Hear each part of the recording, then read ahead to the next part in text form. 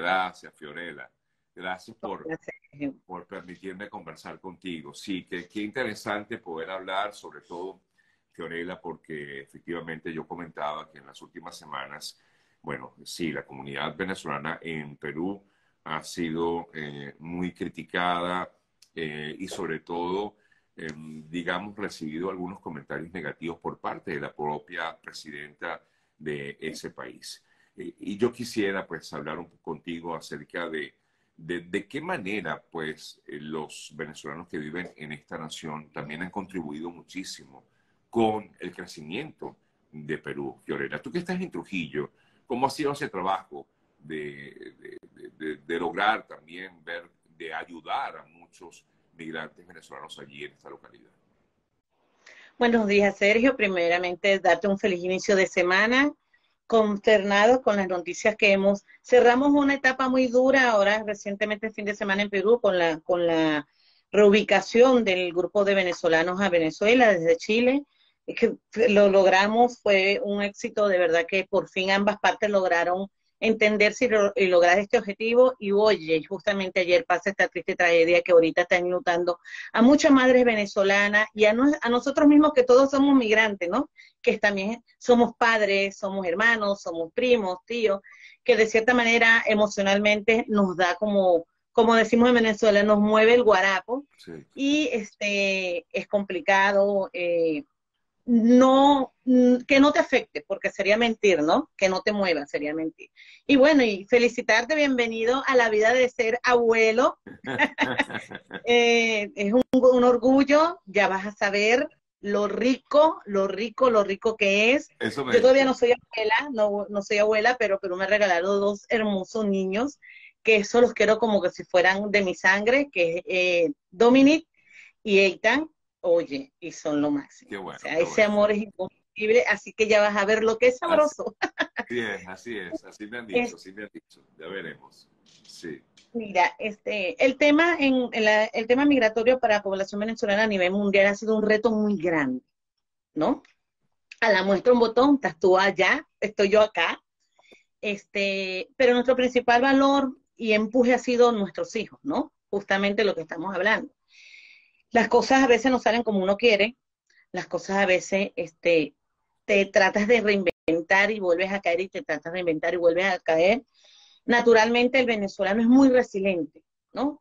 Por cualquier lado se mete y lo, logra o hace algo para poder sobrevivir en cualquier espacio, ¿no? Este, a la muestra un botón, eh, tú estás en Estados Unidos ejerciendo tu carrera con esta bendición que eres para cada uno de los venezolanos acá donde estamos en el mundo un referente, de verdad, nosotros usamos Sergio Nobel y o sea, es como decimos otro nivel, sí, y muchos de nosotros tratamos de hacer algo distinto, pero un, en un distinto de ayudar a nuestra gente.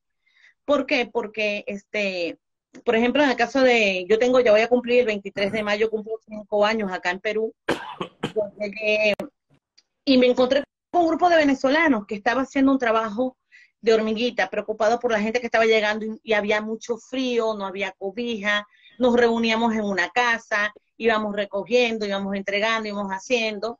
Este, la dinámica de la vuelta, es que el, alarma que estaba generando Perú a nivel mundial en cuanto a la migración venezolana, te estoy hablando de 2018, pero para nadie es un secreto que la migración venezolana en Perú viene desde el 2012, 2006, hay una dinámica allí con temas de asilo político por distintas eh, personalidades reconocidas en nuestro país que también están haciendo vida importante acá en Perú, como referencia de esto Nancy Arellano, Oscar Pérez, Mata Fernández, ¿no? que vienen de esas etapas. Este, em, estar allí, hacerlo, vivirlo, atender a nuestra gente, nos fue despertando este, esa, ese empuje, tenemos que hacer algo, tenemos que hacer algo, pero el hacer algo es, primeramente tenemos que estar regularizados regularizarnos nosotros como ciudadanos extranjeros en un país que no es el nuestro, que no podemos entrar a hacer lo que nos da la gana, sino que tenemos que cumplir normas y reglas. Y la otra, de crear un espacio, ¿verdad? Con las indicaciones, con la asesoría legal que correspondía en ese momento para crear lo que es ahorita la Asociación de Venezolanos en Trujillo. Ahora, Fiorella, definitivamente lo que estamos hablando, amigas y amigos, con Fiorella Fernández, ella representa a esta Asociación de Venezolanos en, en Trujillo, Perú y eh, hemos querido conversar con ella para conocer, eh, efectivamente la pregunta que quiero hacerte es cómo tratar de cambiar esa, esa visión que tienen algunos peruanos de que todo venezolano que llegó a Perú es un delincuente como efectivamente y que lamentablemente ha sido así, algunos se han portado mal, ¿no? Eh, y esto, entonces, claro, es lo que más resalta, es lo que más llama la atención. ¿Cómo hacemos para contrastar con esa mala imagen que tienen algunos en esta zona, eh, Fiorella? Sergio, el reto es grande, pero las cosas no son posibles de hacerlas si no las luchas. Y nosotros ahorita en Perú, todas estas organizaciones, porque en Perú habemos 30 organizaciones, de las cuales 15 están regularizadas. Y es una atención de manera directa a la población venezolana. Ojo, esto no excluye a la población de acogida y mucho menos un colombiano, a un ecuatoriano, a un chileno, porque estamos dando estas asesorías migratorias a un argentino. No, nuestro eh, balance es negativo porque la población en lo que vende en el Perú es la prensa amarillista. Lamentándolo mucho, es una realidad que nosotros día a día, cada vez que nos paramos, eh, mi equipo, tengo un equipo maravilloso, directivo y de voluntarios que estamos haciendo un trabajo de hormiga, que estamos sembrando para después recoger, este, ha sido un poco duro, porque nosotros tenemos una casa de atención en Trujillo. Pregúntenos quién de la, de, la, de la prensa ha ido a la casa a ver qué estamos haciendo. Ninguna. Pero pasa cualquier hecho, roban una cartera, golpean a alguien, jalan un celular, es lo primero que sale primera plana. Los, eh, planas, los venecos, los venecos en Trujillo, los venecos en Lima. Sí hay algo importante que tengo que mencionar. La, zona donde este, se ha aumentado desde el 14 de abril hasta ahorita, el tema de xenofobia ha sido el aumento de 560%. Con esta dinámica, este, que se ha, que se ha suscitado, el tema de frontera, en temas, en varias situaciones que han sido muy fuertes, el tema de la, de la, ahorita la bandera es el, el, tema del tren de Aragua, que no, no entendemos esta dinámica eh, social, política, económica que nos, nos, nos, nos envuelven a todos en un mismo paquete, cosa que no es así. Claro, no es así, pero es justamente el trabajo de todos lo que tenemos que hacer entre todos para tratar de contrarrestar esas malas noticias, Fiorella. Es correcto. Y eso es lo que está haciendo la Asociación de Venezolanos en Trujillo. Nosotros tenemos cuatro años, vamos a cumplir este, este 12 de diciembre, cinco años fundados, de la cual es ahorita el reporte, porque mañana justamente tengo una, una presentación con el grupo de migraciones y de salud de OIM acá en Trujillo. Tenemos 10.700 personas atendidas desde el 2018 hasta el día Está el viernes de la semana pasada, porque tú sabes que estamos llevando nuestros datos y nuestras estadísticas en función de esta atención. Nada más en la parte migratoria, ahí entra asesoría, pagos de trámite, eh, ayudar a la gente, darle la asesoría legal. Tenemos un apoyo súper importantísimo con Care Perú, que ayuda con los pagos migratorios, la gente de Benia Activa, con la clínica jurídica y los pagos migratorios, que está la doctora Nancy Arellano. Tenemos las... Eh, otras instituciones que de una cierta manera han formado parte de este trabajo tan bonito que estamos haciendo. La Asociación de Venezolanos de Trujillo no maneja eh, dinero todavía porque somos una fundación sin fines de lucro. Estamos preparando ahorita todo un equipo. Eh, en, vive en, capacitación constante. Sergio, eso sí te lo tengo que decir con toda responsabilidad del mundo, porque tenemos que prepararnos para atender nuestra gente, porque tenemos que ser bandera de la información que estamos dando. Y uno de los principales puntos en los cuales siempre estamos en constante preparación es el tema migratorio. ¿no? Entonces, el día viernes justamente tuvimos una reunión con la Oficina de Migraciones, con el licenciado Ismael Iglesias, eh, el jefe zonal de migraciones, donde nos dio una preparación a todas las organizaciones de base y las ONG que hacemos vida en Trujillo, que están todas las de Lima ahora se repican en Trujillo, eso también es importante decirlo, este, el tema de la amnistía, que gracias a Dios logramos este éxito, que es un éxito de todos los venezolanos y organizaciones en las cuales estamos haciendo vida en Perú. ¿Por qué es un éxito? Porque cada uno formamos parte de este granito de arena que logró este gran triunfo. Y esto significa muchísimo para nosotros, porque para nadie es un secreto que tenemos gente que está multada hasta con 60 mil soles. ¿Quién puede pagar eso? Aquí un, un, un día cuesta 30 soles trabajar sin estar en planilla. Entonces, es una dinámica que de verdad nos permitió a nosotros lograr este triunfo. Ahorita estamos esperando que Migraciones dé la, el aval para la continuidad de seis meses con el CPP para terminar esta, esta regularización que ha sido súper importantísima y además que hay que reconocer que es el único país que prácticamente está dando una regulación de manera inmediata y estando inclusive ilegal, ¿sí? Porque entras con el CPP, tiene las oportunidades hasta el 2020 del 2021, se tuvo, hay una buena alcance en función a esto. Y en este momento, recientemente tuvimos una reunión con el jefe de migraciones, con la gente de GRTM acá en Trujillo, y logramos eh, eh, la siguiente información que para mí es importantísima referirte, porque es el tema de migratorio, que es el punto de lanza, ¿no? Que estamos manejando. En, Trujillo tenemos 100.000 venezolanos. De estos 100.000 venezolanos, 50.000 están fuera de regularización migratoria. Ojo, pero esto no quiere decir que por medio de migraciones y relaciones exteriores, porque también hay que reconocer el trabajo que está haciendo relaciones exteriores por medio de el refugio, la calidad humanitaria que se están dando para, para que la gente ya tenga una regularización. Este del 2021 al 2023 tenemos 7.743 carnes de extranjería entregados en Trujillo nada más. Del 2021 al 2023 se han entregado 14.078 CPP. Esto quiere decir que tenemos un buen número, casi 22.000 venezolanos ya regularizados, ¿no? Y esto es importantísimo resaltarlo porque ha sido un trabajo mancomunado, las organizaciones de bases, este, con nuestras jornadas, las atenciones en los espacios donde estamos cada una de nosotros a nivel nacional trabajando, luchando, porque nuestra bandera de toda ha sido, y principalmente la de la Asociación de Venezolanos en Trujillo, es documentación. Documentación migratoria, por refugiado, por, eh, eh, por las calidades migratorias. Porque acuérdate que tenemos refugio, que es solicitante de refugio, asilado y carnet de extranjería por vulnerabilidad. Ahora te, consulto, eh, eh, Fiorella, eh, ¿por qué todavía no hay gente que se logra regularizar? ¿Es muy difícil lograr esa regularización en Perú? Hay varios temas. Entre los principales que nuestra gente está saliendo sin ninguna documentación en Venezuela. Ok, no tienen, no tienen pasaporte. Ese, es el principal. Y en la dinámica de nuestras jornadas migratorias, Sergio, se están presentando con antas de niños nacidos es que ni siquiera han podido sacar una partida de nacimiento en nuestro país.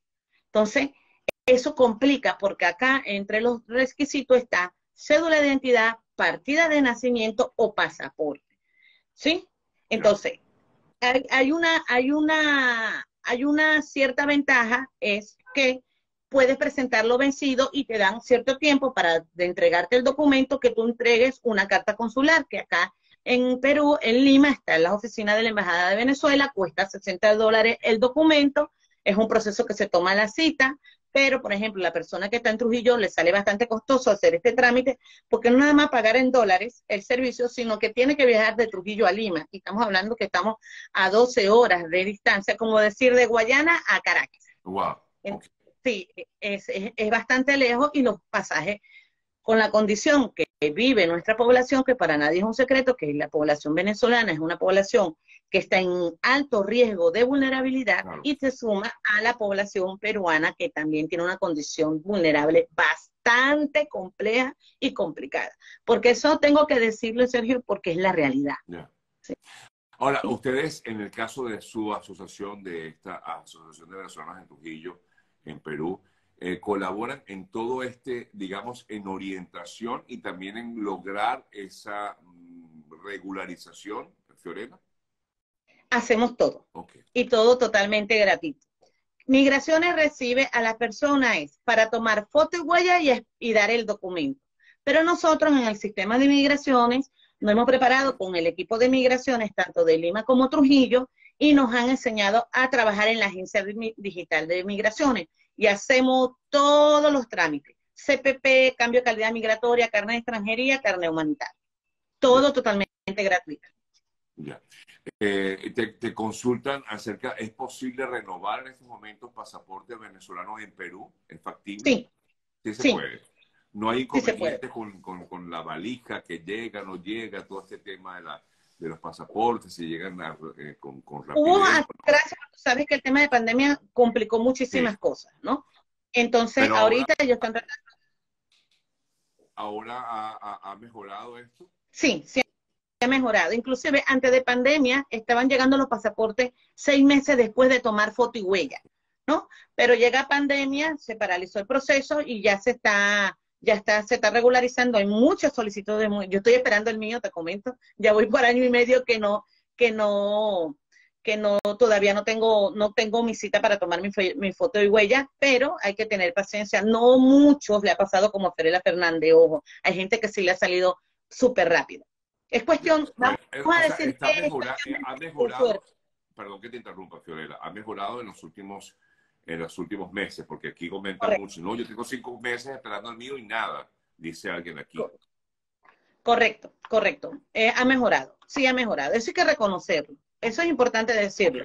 Ha mejorado, están dando las atenciones, están pidiendo los documentos, solo que los costos son muy altos, son muy altos tú sabes cuánto es el pasaporte, aquí la expedición de una certificación de identidad, porque la mayoría de los venezolanos ya tienen pasaporte vencido y cédulas vencidas. Entonces la certificación de identidad está en 60 dólares. Una constancia de fe de vida, 60 dólares. Y si estamos en Trujillo, es el pasaje para ir, volver. Entonces, eh, eh, es, eh, pega, es como ir a otro país. Llegar a Lima es como ir a otro país. Correcto. Tal cual. Porque además de esto, llegar a Lima, las distancias de los espacios donde llega porque mayormente la población venezolana de bajos recursos llega a, Plaza Norte y de ahí se tiene que trasladar a las distintas zonas en, en, Lima, que es bastante grande, para hacer cualquier gestión y principalmente la, el, el pasaporte. Ya, entiendo. Ah, te preguntan, no sé por qué, si tú tienes información de costos por el pasaporte, no sé. Mire, pasaporte, hasta ahora la información, yo pagué 200 dólares en la página, ¿sí? y de aquí, en la página de Simon pero aparentemente este, subieron 120 dólares que hay que llevar en efectivo. Yo justamente esta semana voy a, Lima a, una otra presentación con ACNUR y voy a pasar por allá para saber cuál es el trámite de mi, de mi documento, cómo va, qué es lo que ha pasado y cualquier información lo puedo, les aviso por la cuenta oficial de Asovento. Y allí no se preocupen, para eso estamos. Bueno, para eso estamos, justamente. Agradecido, Fiorella, para aquellos amigas, amigos que se encuentran en esta zona de Perú, en Trujillo, en sus alrededores. Trujillo está al sur, ¿verdad? Norte. Hacia el sur. Hacia norte. el norte, más bien. Disculpa. Playa, playa. Déjame ver dónde está. Ah, sí, está al norte de Lima, correcto. Más bien más cerca de Ecuador, ¿no? Un sí, correcto. Estamos, estamos a ocho horas de Tumbes. Oh, Ok, ocho horas de Tumbe y 12 horas de Lima, pero sabemos, como bien ha comentado nuestra amiga invitada hoy, Fiorella, eh, eh, la mayoría, mm, o mejor dicho, hay unos 100 mil venezolanos que me impactó la cifra, 100 mil venezolanos en Trujillo nada más, eh, por lo menos hasta ahora, digamos, monitoreados. Pero si usted requiere de algún tipo de colaboración, ayuda, orientación, sobre todo, Fiorella, que creo que lo Orientación si necesita algún tipo de orientación de cómo hacer con sus eh, trámites legales, con sus papeles, como decimos comúnmente, miren, eh, contacten a Fiorella y a todo su equipo. Bueno, que no es muy grande, pero bueno. Permíteme un momentico, disculpa que te interrumpa. Para nosotros es importante informar que la Asociación Venezolana de Trujillo tenemos casa de atención y tenemos atenciones médicas, psicológicas, totalmente gratuitas. Todo bajo un sistema de cita tenemos una, a, una, a dos voluntarias encargadas de estos procesos. En la cuenta nuestra siempre estamos publicando estas atenciones. Adicionalmente, eh, todo el trabajo que se hace con las ONG, Beneactiva, eh, Care Perú, de Chile, OIM, Prisma. Aquí hay un trabajo muy bonito que gracias a todo esto, a todas estas situaciones que por ser tantos venezolanos, porque somos la segunda ciudad que tiene más venezolanos en el país, tuvieron que voltear la cara y también venir ver a hacer la atención para acá. Se ha hecho un trabajo mancomunado en equipo bajo la bajo el apoyo del gobierno regional de la Libertad, el Centro de Empleo de la Libertad, la, gerencia del trabajo, la gerencia de la gerencia social en acá en la Libertad es un trabajo de hormiguita donde hemos obtenido muy muy muy buenos resultados.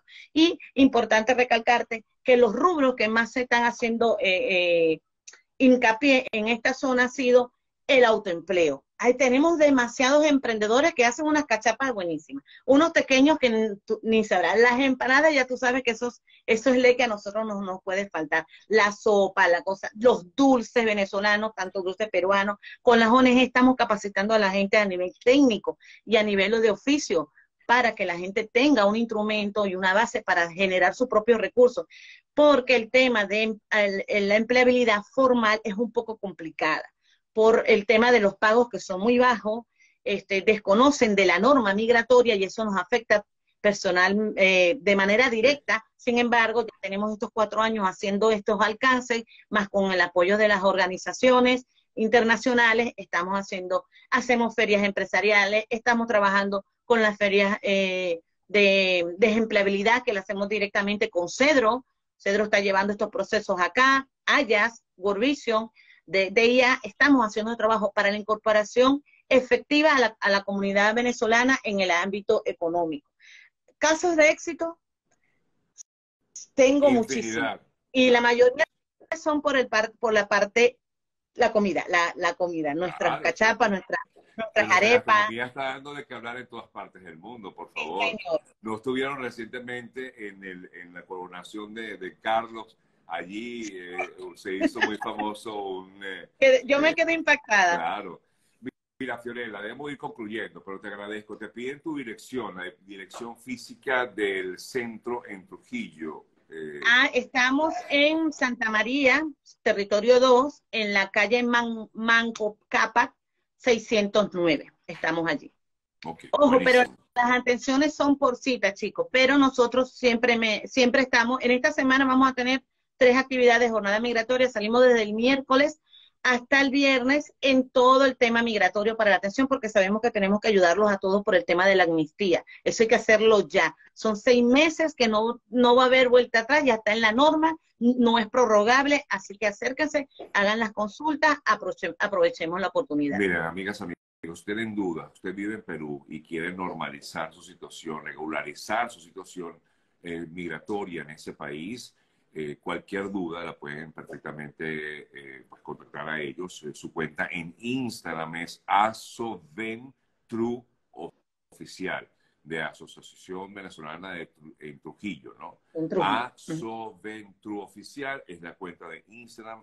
Pueden escribirles directamente a Fiorella y ella seguramente les va a dar respuesta. Eh, en torno a ello y seguramente le va a orientar de la mejor manera para que usted, porque como alguien comentaba por aquí, el que no se regulariza es porque es flojo. ¿Tú crees eso, eh, Fiorella? Hay las dos caras. Yo diría que hasta tres caras, hasta tres caras tenemos, porque al que no le interesa que lo ubiquen no se va a regularizar. El que no tiene un documento que valide que es esa persona, que es un documento real, va a costarle, va a costarle un poco más. Cuesta demasiado y a nosotros a veces nos frustra porque no hallamos cómo ayudarlo, porque la, la, documentación es única, no podemos, el sistema pide esa documentación, hacerse una foto, pero cuando vayan de manera presencial tienen que presentar los documentos y si no cumple con lo con la norma y la ley que exige migraciones van a ser rechazados. Y eso es uno de los grandes retos que nosotros estamos acá, porque ahorita está llegando muchísima gente nueva que no está trayendo ningún tipo de documentación. Tenemos reportes de jóvenes de 17 años que tienen es acta, acta de niños nacidos. Imagínate tú, o sea, no existen en Venezuela. ¿Cómo nosotros acá resolvemos un tema tan, tan complicado? Sí. Quisiera. Sí, sí, es correcto, es correcto. Bueno, Fiorella, gracias, sí, gracias por el contacto, que tengas un maravilloso día y espero que esto haya servido a muchísimas personas que se encuentran en Perú y sobre todo en esta importante zona del país. Un fuerte abrazo. Gracias. Feliz día, super abuelo. Vale. Qué linda. Gracias. Besos. Dios te bendiga. Bye.